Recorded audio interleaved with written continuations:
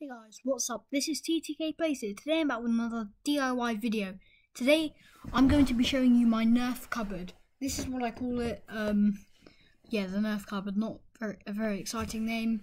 I'll probably come up with a better title for the video though. Anyway, the cool thing about this um, cupboard or Nerf storage container is that it completely folds out.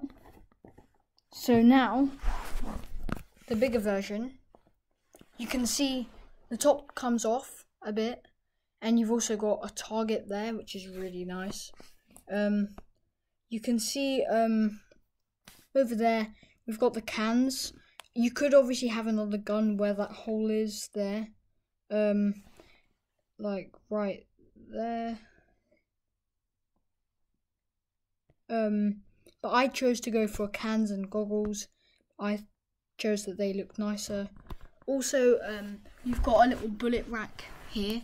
Um, the, the the hooks I used to make these, they're quite weird.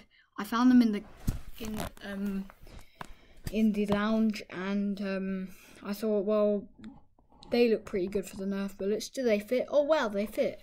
I'm gonna use them. So I have no idea what they're called. So if you want to make this, then sorry, you can't, unless you have those exact things.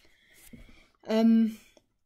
I will be doing a tutorial on how to make this. I'm sure I'll find another way on how to store the bullets like that on the rack. But, um, yeah. Uh, anyway, I hope you guys enjoyed the video.